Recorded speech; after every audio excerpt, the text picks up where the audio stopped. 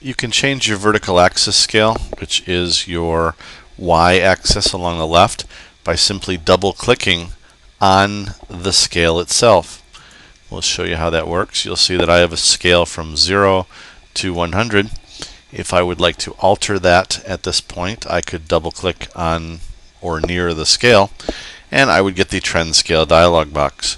Now you can either change the scale to uh, from auto range to database or absolute or from one of those two settings to auto range in these boxes here. Auto range will look at the entire uh, time period of the trend and draw the y-axis in what the system feels is an appropriate range.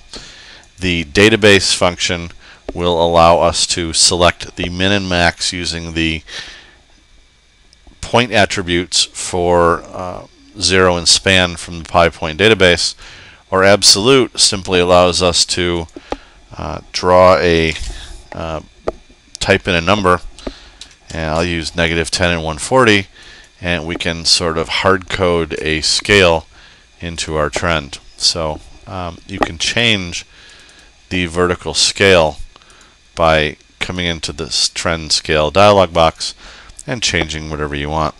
Keep in mind that any changes you make here are temporary and will not be saved with the